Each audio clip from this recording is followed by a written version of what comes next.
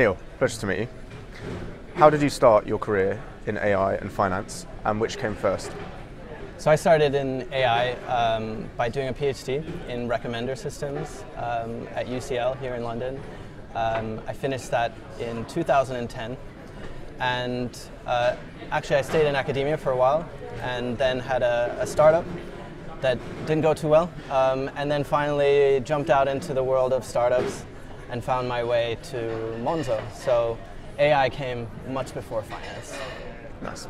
So tell us about your career path leading up to your role as ML lead at Monzo. So um, after finishing my PhD um, in recommender systems, I did a few years of research uh, focusing on building new systems with different types of data. So I did some research with Oyster cards, I did some research um, with mobile phone sensors, and then once I left academia, um, I just took up a job as a data scientist. And they're always focusing on uh, building different machine learning systems uh, with the data at whatever company I was at. And over time, I realized that I care as much about building a team that can do great machine learning as I care about doing the machine learning myself. And um, so that's where I found this great opportunity at Monzo um, to lead the machine learning team there. Excellent. So, do you think new banks like Monzo are at an advantage in applying deep learning and AI? Um, I think there's a clear yes. Um, and I was discussing with other people from other banks at lunch uh, here today. And uh, one of the key insights that we, we were discussing was that the advantage at Monzo is just because Monzo is a four-year-old company. And so we were uh, founded four years ago and built on technology that is really contemporary. Uh, whereas my colleagues in other banks uh, feel the effects of working at a bank that was founded many, many, many decades ago and uh, sort of some of the technological debt that comes along with that. Um, so a lot of our speed at Monzo is driven by the fact that we've solved some problems that, um, that other banks have, have yet to solve. Okay. You're currently using deep learning for customer operations. How can these technologies help empower and improve customer support? Um, so there's two sides to this problem. Um, when you open the Monzo app, uh, if you ever have a problem, you can, or an issue with your account, you can go over to the help screen. And an ideal outcome for us is that you go to that help screen and the answer is there waiting for you. Um, so you have uh, frozen your account, uh, frozen your card, and you're not sure how to unfreeze it. So you go to the help screen, and the answer is there. It's saying, here's how to unfreeze your card.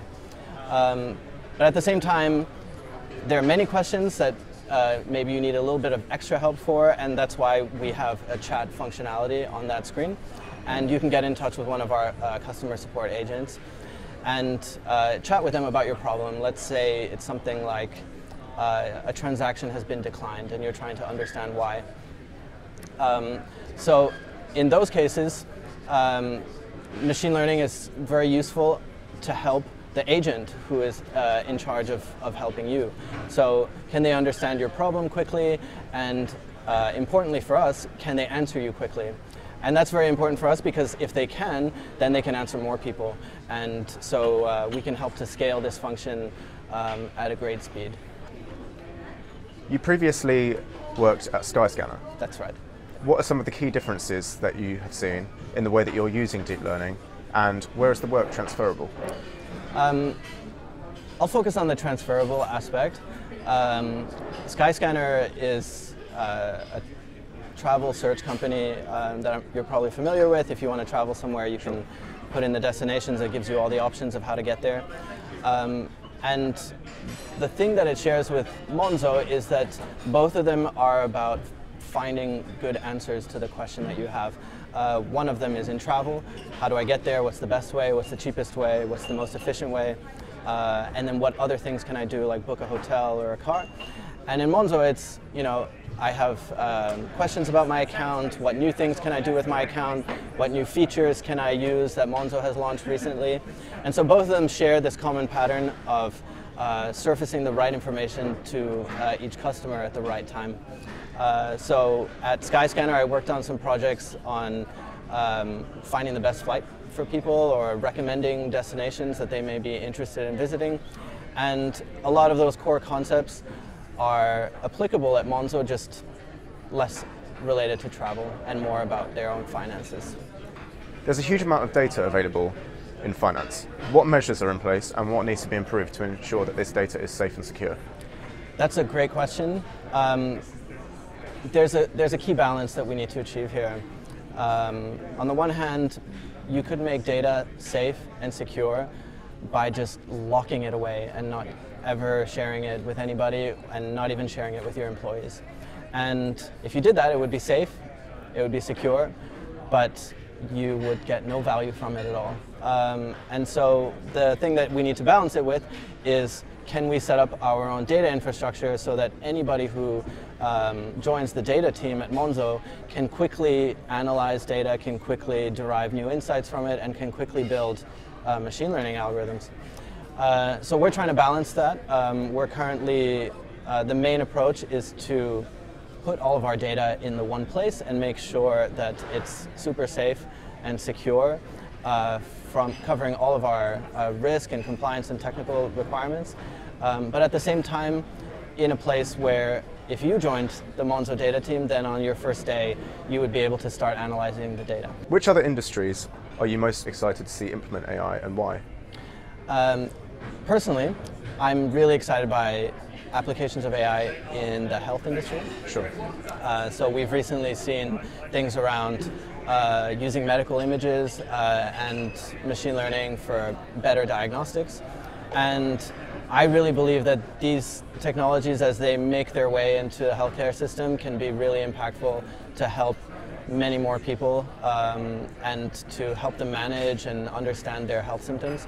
Um, I see it as being similar to finance in that they are both uh, heavily regulated industries, um, but that doesn't take away from the promise of uh, machine learning to deliver great value there. Sure. So, what have you enjoyed most about the summit so far? Um, so, yesterday I was uh, chairing the afternoon session, and we had a mixture of uh, speakers from uh, various companies and uh, professors from different universities, uh, as well as one uh, very young uh, undergraduate who's been actually doing some research on reinforcement learning. So I really enjoyed the mix. Um, some of it was sort of flashback to my academic life and seeing presentations on new algorithms. Um, and then other presentations were about how these companies are actually trying to use AI and um, so it was it was right down the middle where I'm interested in both sides of those. Perfect. So, what do you think we can do to encourage more young people and also diverse backgrounds into AI? Um, that's a super super important question. And one that I hope you're asking everybody.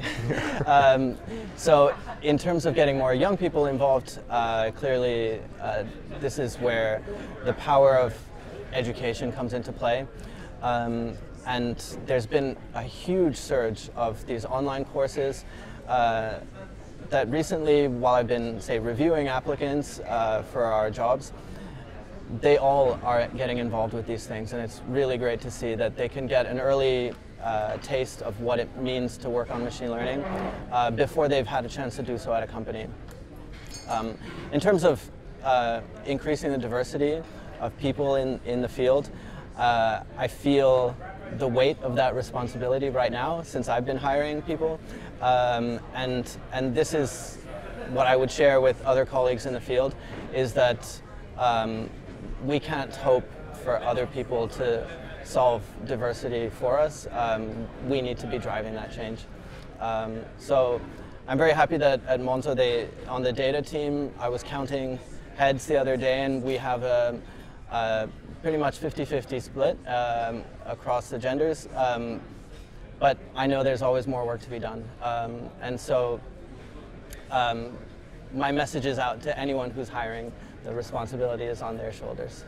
Okay, excellent. Neal, pleasure. Great. Thanks very Take much. care.